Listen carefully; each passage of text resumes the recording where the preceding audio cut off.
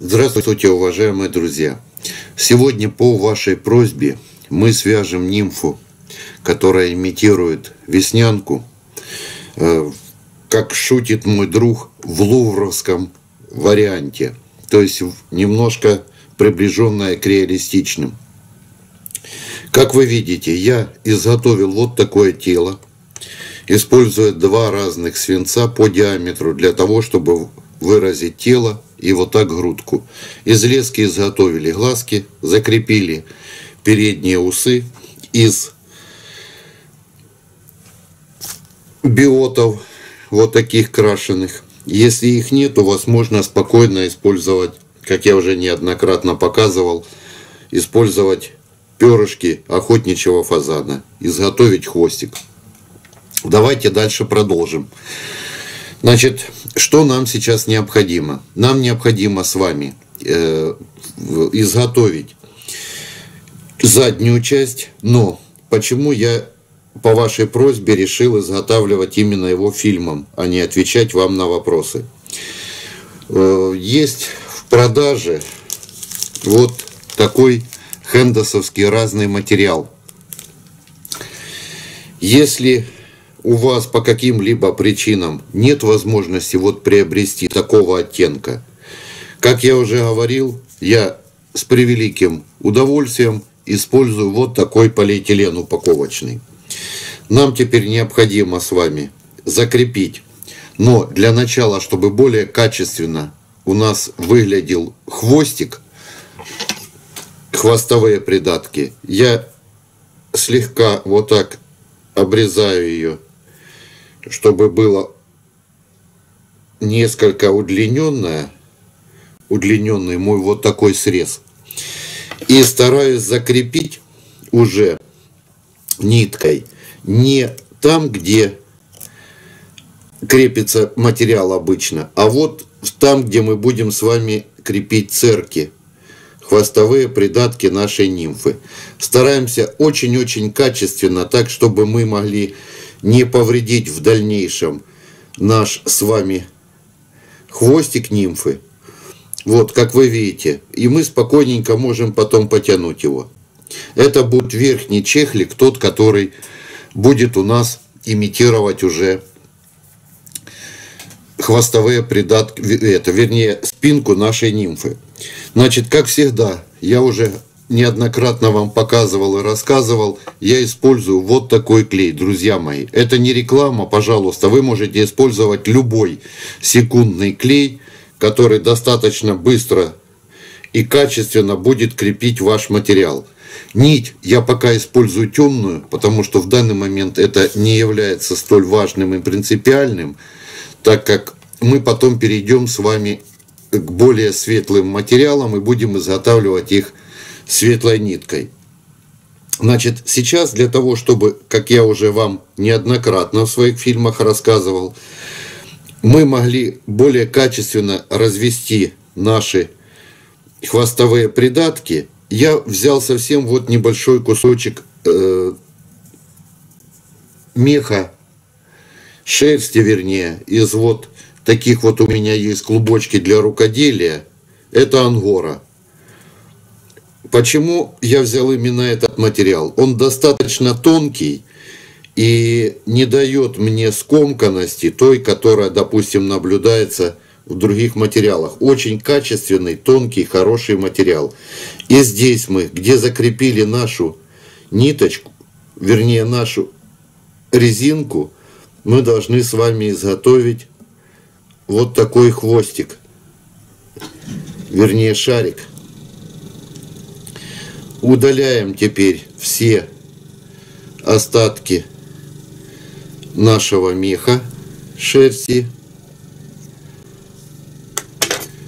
и подготавливаем парочку биотов. Значит, я, как обычно, стараюсь их вначале подровнять, а потом только лишь отламываю. Но мы будем изготавливать сейчас с вами так как вы говорили неоднократно, вот вы оторвали, он у вас один там длиннее, другой короче. Вот мы взяли, оторвали с вами два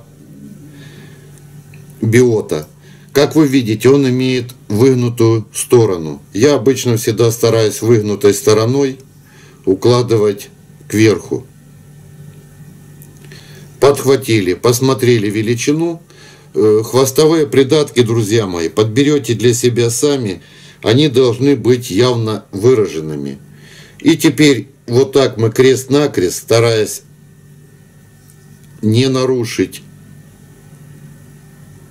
положение, что мы уже закрепили, если по каким-либо причинам вот вам необходимо подтянуть, неудобно, допустим, подобраться руками, я обычно беру перодержатель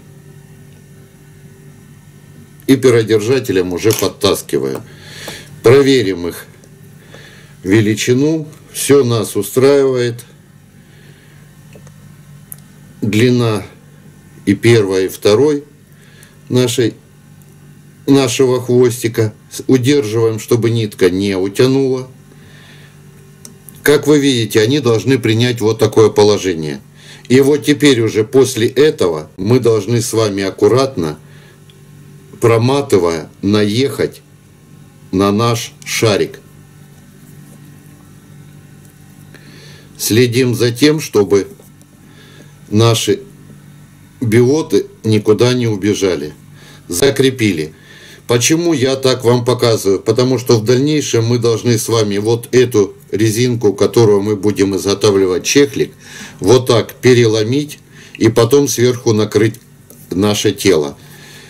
И теперь для того, чтобы уже не, на, не лишний раз не отрезать, я их вот так подхватываю, потому что мы все равно будем с вами изготавливать тело.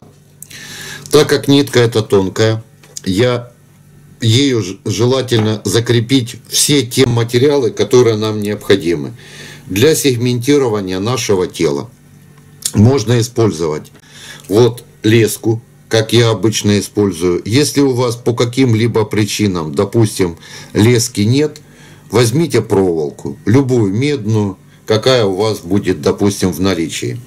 Но как всегда, для красоты я добавлю немножечко вот нашего голографического люрикса. Закрепили, промотали, оставили. И теперь также закрепим нашу леску, и мы теперь можем уже переходить к формированию нашего тела. Значит, у этой нимфы мы с вами будем изготавливать тело немножечко по хитрому. В каком смысле? Значит, в качестве э, жаберок, которые наблюдаются у нашей нимфы, я буду использовать вот такие перышки, которые наблюдаются в скальпах э, петушиных возле больших перьев. Значит, нам необходимо с вами слегка очистить вот ту часть, которая у нас, допустим, будет крепиться, как вы видите, вот она выглядит вот так крючочком. Для нас это даже вполне достаточно хорошо для крепления. Здесь же в этом месте мы начинаем крепить. Подхватили по всей длине. Годится. Теперь я беру, делаю завершающий узел и поменяем с вами нить. Значит, нить я буду использовать э, белого цвета но достаточно толстую. По вашей просьбе я следующие фильмы начну э, из серии фильмов «Начнем с нуля». Там мы с вами будем рассматривать уже более подробно все нитки. Это вот та, которую мы распускаем, используя наши бобины для прошивки обуви. Закрепили, сильно не стараемся не нагромождать материал, но и в то же время соблюдая аккуратность. Что нам необходимо? Вот нам необходимо вот этой нашей вспомогательной ниткой, которая у нас имеется, изготовить качественное и красивое тело вот буквально до середины грудки. Давайте изготовим и потом продолжим. Вот как вы видите, друзья, мы с вами подготовили такое тело. Теперь мы берем наше перышко, очень аккуратненько стараемся убрать те бородки, которые нам в дальнейшем не понадобятся. удерживаем и крепим его вот так сверху. Переламываем, чтобы более качественно был замок. И теперь только остатки удаляем. Убрали. Теперь нашим люриксом, но опять же, используя нашу любимую щетку, один из инструментов, поправляем вот так волоски, так как мы с вами изготавливали уже неоднократно бокоплавов.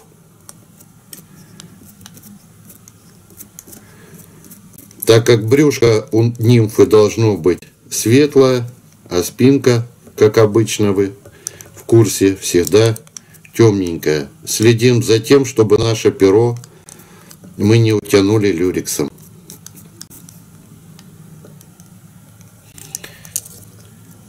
И у нас получается достаточное количество. Естественно, если у вас по каким-либо причинам будет много, можно спокойно лишнее потом все убрать. Подрезать так, как вам будет удобно. Как вы видите, достаточно симпатичное и хорошее получается тело. Движемся. Доходим до места крепления. Здесь уже делаем один полный оборот нашим люрексом. И теперь остается нам только лишь закрепить материал и ударить остатки. Как всегда, не ленитесь, добавьте на место крепления капельку клея, так как мы в дальнейшем будем здесь очень много крепить еще материалов. Перо, которое нехорошо топорщится, мы пока не отрезаем. Значит, теперь аккуратно, насколько вот нам позволяет наши условия, стараемся натянуть нашу резиночку и уложить вот так сверху. И теперь там, где мы нанесли с вами клей на место крепления, аккуратненько производим крепление. Значит, чтобы вам в дальнейшем это не мешало, можно, допустим, отрезать. Но я, используя вот эту же резинку, буду изготавливать придатки на моих, моей нимфы. Опять берем в работу наш, нашу щетку. И теперь уже стараемся как можно аккуратней, также следим за тем, чтобы мы не утянули нашу резинку. Перо у нас уже хорошо закреплено. И начинаем теперь уже продавливать хорошо наш материал. Какое количество сегментов, друзья мои, это вы уже подберете для себя сами. Это уже не так принципиально.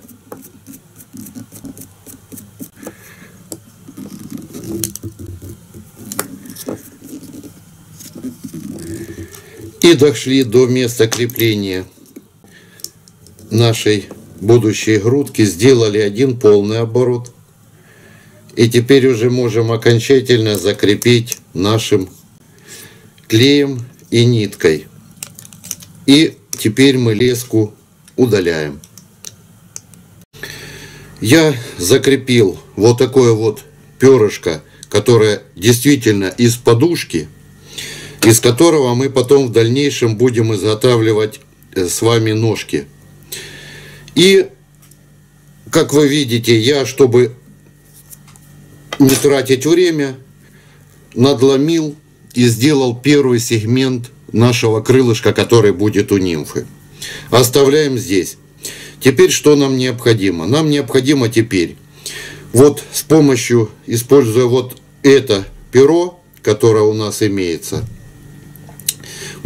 скажу сразу, желательно, чтобы оно было достаточно крепкое, но в то же время э, бородки были не сильно толстыми, потому что потом неудобно будет изготавливать нам ножки. Теперь мы берем, как я уже неоднократно показывал, можете использовать ваксу, можете использовать, вот у меня имеется церковная свечка, или же, как я уже неоднократно вам рассказывал в фильмах, э, возьмите, договоритесь, купите немножко вощины, но выбирайте самую-самую мягкую. Любой материал, который вы используете для э, ваксы.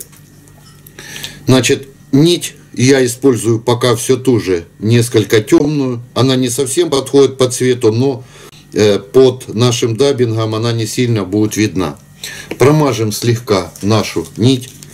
Я теперь возьму э, небольшую порцию, вот совсем немножечко, вот дабинга в руки и постараемся как можно меньше, чтобы не было скомканности, нанести его на нить. Совсем-совсем только лишь, чтобы обозначить. Желательно, конечно, подобрать дабинг, чтобы был как можно мельче. В этом случае, как спрашивал мой друг Алексей, его мех кроликов – очень даже уместен.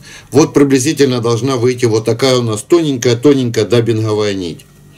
И теперь я вот в этом месте закрепил, обозначил уже то место, где у меня будет формироваться моя грудка.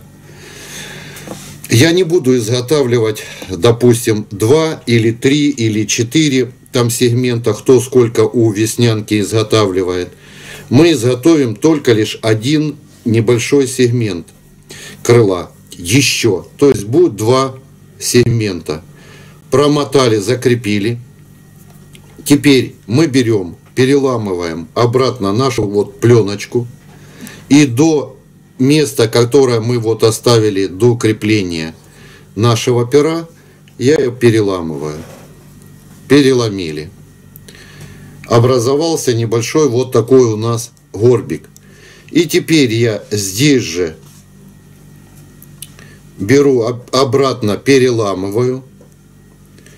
И мы сформируем с вами вторую часть нашего крылышка. Второе крыло.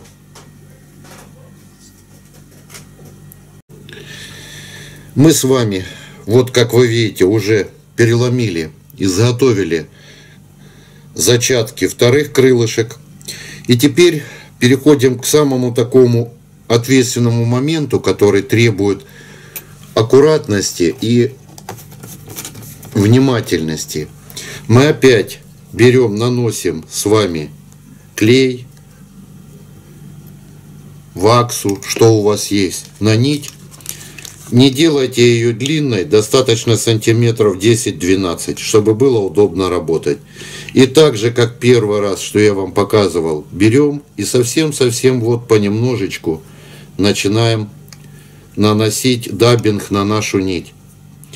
Так, чтобы прикрыть только лишь саму нить, и в то же время, чтобы не было у нас скомканности материалов.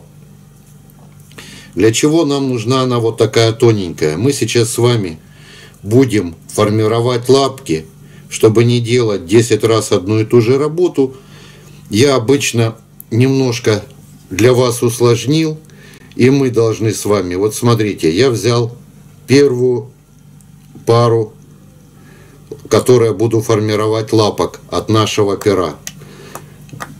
Отщепил и закрепил их сзади. Слева и также, друзья мои, мы берем с правой стороны. Потом мы будем работать с вами с лаком. Вот должна выйти приблизительно вот такая у нас конструкция. Опять берем определенную порцию. Если они будут несколько у нас там жирнее, это не так важно. Берем вторую порцию наших лапок. Подхватили не забываем подкручивать нашу нить, чтобы даббинг не распускался. Вот. Вторую порцию слева. Немножко нудновато, но зато будет у нас красивая, как я говорю, лувровская нимфа. Можно положить сверху, мы уже изготавливали неоднократно в таком варианте. Но вот в этом варианте у нас более она выходит реалистичная за счет того, что мы с вами, друзья, более качественно с вами заготовим наши лапки. Вот вышло, вышли две вот такие пары лапок. Ну и в дальнейшем давайте мы изготовим еще одну пару лапок, накроем чехликом и уже остановимся в моменте изготовления наших лапок. Вот, друзья мои, я специально остановился, дабы не завершать. У вас должна выйти вот такая э, конструкция с нашими заготовками для лапок. И теперь нам остается только лишь подтянуть нашу в пределах разумного пленочку. Хотите, можете сделать более головастой, значит, перевести в район глазок. Это уже как вам будет удобно. И теперь остается только лишь удалить все остатки и э, перейти к изготовлению лапок. Как мы уже с вами неоднократно это все изготавливали. Значит, можно с помощью перодержателя. Но у меня для этих целей имеется, вот я изготавливаю глазки и все, допустим, что такое мелкое. Берем слегка вот так наклоняем уже, который в лаке, наши лапки, как вы видите. И у нас формируются вот такие красивые лапки. Сформируем их, ну и уже потом посмотрим на готовое наше изделие. Вот, друзья мои, мы с вами закончили очередную нимфу, которая обладает хорошей реалистичностью и в то же время достаточно хорошо ловит рыбу. Скажу вам сразу, очень много замечаний и советов мне по поводу длины вот моих лапок. Выбирайте ее сами для своих рыбалок. Я уже неоднократно вам отвечал. Учитывая то, что я не ловлю на речках, а в основном ловлю на прудах или вяло текущих реках, то такая величина лапок не влияет ни на игру, ни на что моей нимфы. Поэтому вы для себя уже выберите сами, какая вам нужна длина. Ну и понятное дело, я слегка подкрасил коричневым чехлик, капнул капельку лака в районе формирования головки. И вот такая наша лувровская нимфа, как ее Александр окрестил, готова к работе. Благодарю вас за внимание. До скорых встреч!